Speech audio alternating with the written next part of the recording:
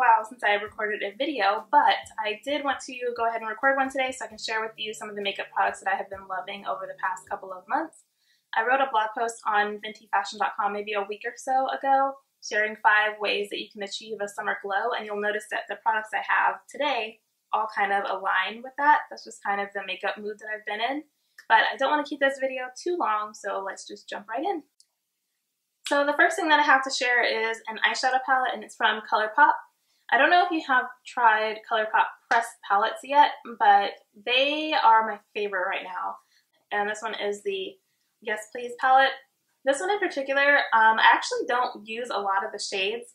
I mainly just use the bottom row and then the shimmery gold color here. But the reason why it's in my favorites is because I purchased this for the yellow eyeshadow in the bottom corner and it did not disappoint.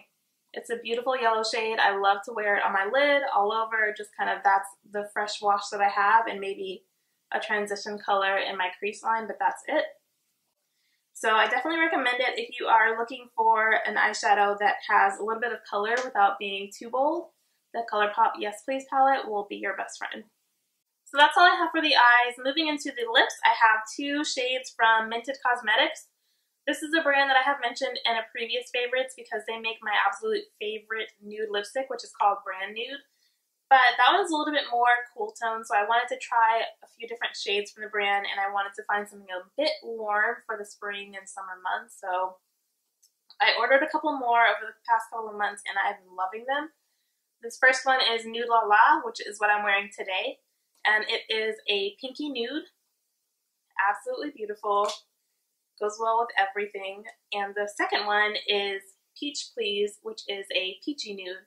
And this one looks great if you are wearing a warm um, outfit, like a yellow top, or even if you're wearing, you know, like the yellow eyeshadow from the Yes Please palette, that's when I would reach for Peach Please. Anything that has more of a warm summer tropical feel, I'll go for Peach Please. Anything that's kind of um, muted out or neutral, I'll go for Nude La La.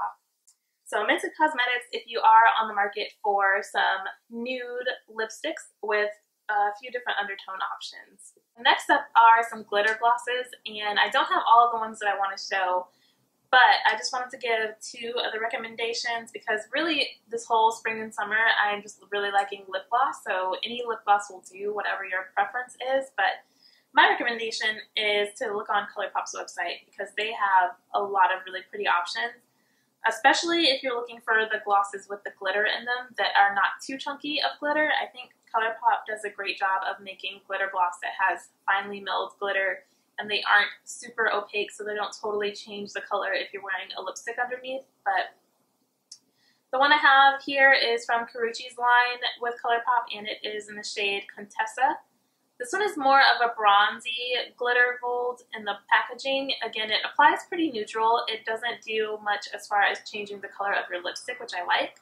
And same thing goes for this next one, which is with the Makeup by Shayla collaboration with ColourPop, and this one is called Neat Freak. Again, I just treat these as kind of like a lip topper. You know, just put it on top of whatever nude lipstick I'm wearing, and I'm good to go. I just like how they look. They are not a sticky formula, and you do have to apply them throughout the day. I mean, that's pretty much how it goes with lip gloss, but it's really easy to just, you know, apply and go. I really like them, and I believe they're only $6 on the ColourPop website, so definitely worth checking out if you haven't already. So that's all for the lips. I just had the Mented Cosmetics um, if you're looking for nude lipsticks, and ColourPop if you are looking for affordable glitter gloss. So moving into the face products, I have a couple of shimmer sticks from Fenty Beauty. They are in the shades Trippin' and Blonde. Trippin' is like a golden apricot shade, beautiful on brown skin, and Blonde is a true gold.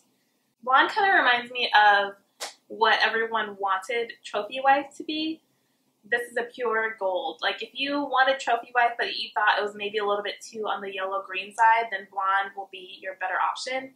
Whereas Trippin', now that I'm looking at it, is a better comparison for the Mean Money and Hustle Baby highlighter. But that is another favorite that I have here, the Killawatt from Fenty Beauty.